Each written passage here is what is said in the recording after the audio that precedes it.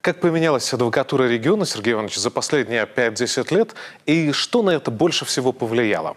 Больше всего повлияло то, что были внесены в 2012 году изменения в наш закон об адвокатуре и адвокатской деятельности, который предоставил возможность осуществлять деятельность не только в составе консультации, но также и индивидуальной в составе адвокатских бюро.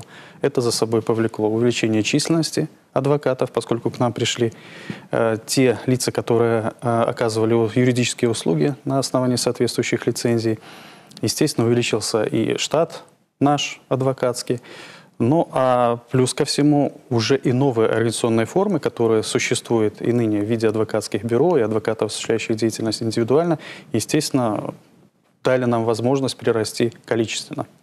Свои коррективы, уверенно, внесла и пандемия 2020. А какие механизмы удалось перевести в онлайн? И возможно ли это?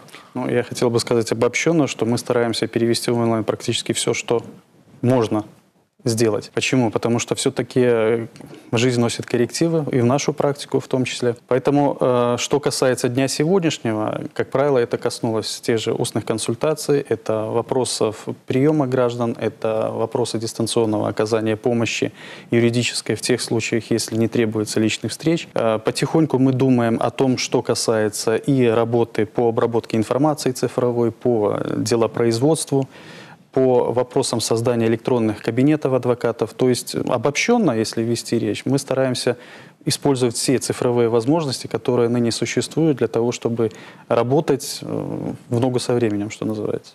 Если не ошибаюсь, вы начинали адвокатом в Мозыре, а вот как сегодня развивается система в небольших населенных пунктах э, и районах? Да, совершенно верно. Начинал я в Мозыре.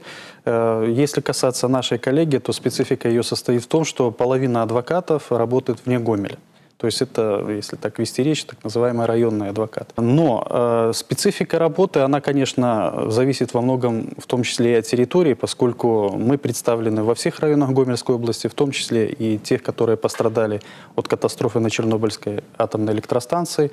Но каждый адвокат имеет лицензию, выданную Министерством юстиции, и, естественно, тот набор и видов юридической помощи, который необходим гражданам, он каждый адвокат в состоянии предоставить. Э, специфика здесь во многом зависит от э, того, специализируется ли адвокат в каком-либо направлении или нет. Но, конечно, если вести о малокомплектных консультациях, мы готовы предоставить весь спектр юридической помощи, который необходим населению. От развития адвокатуры в регионе к развитию нашей правовой грамотности. Угу. А вот в этом плане многое ли поменялось? Э, да, информированность, конечно, она существенным образом выросла, потому что ну, у каждого в кармане сейчас фактически библиотека да, электронная. Но, с другой стороны, появилась проблема. Почему? Потому что ну, есть такое хорошее изречение, что многознание уму не научает. И э, люди сейчас вот в этом потоке информации иной раз имеют сложности с тем, чтобы правильно определить свою позицию, все-таки принять верное решение. И мы потихоньку от каких-то консультативных вопросов переходим к вопросу определения позиции, принятия решения для гражданина.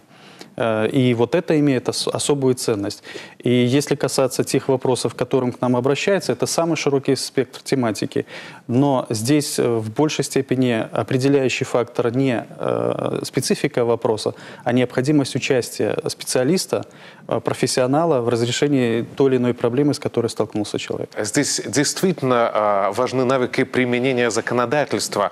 И в этой связи никак не поможет ни интернет, ни добрый добрый сосед, не блогеры, которые искренне и бесплатно раздают э, свои консультации и комментарии. Конечно, потому что у него нет опыта практической деятельности по специальности, и не всякий ответ можно получить в интернете.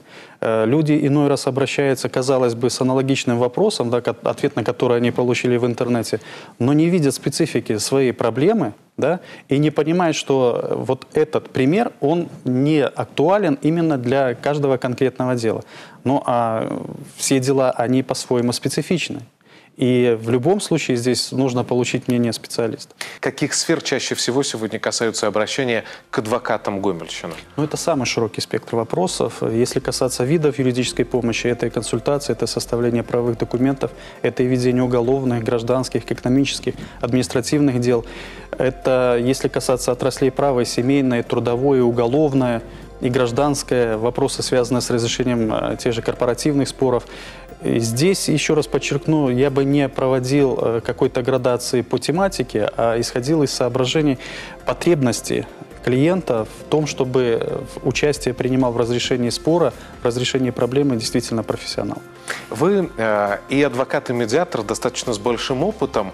А вот как специалист, удалось ли вам нащупать э, ту самую золотую жилу, не знаю, назовите ее как хотите.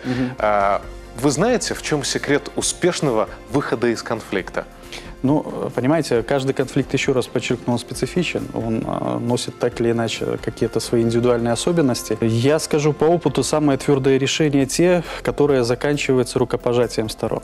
Вот. Если вести речь о любом споре, безотносительно э, к тематике, к отрасли права, в которой он возник, и, э, в общем-то, и жизнь, и опыт показывают, что те решения, которые заканчиваются согласием, они сами по себе и исполнимы, и не вызывают в дальнейшем каких-то споров, не вызывают каких-то необходимостей дискутирования последующего. Повод задуматься. Спасибо большое за э, полезную информацию. Успехов э, и до новых встреч. Спасибо вам. Всего доброго.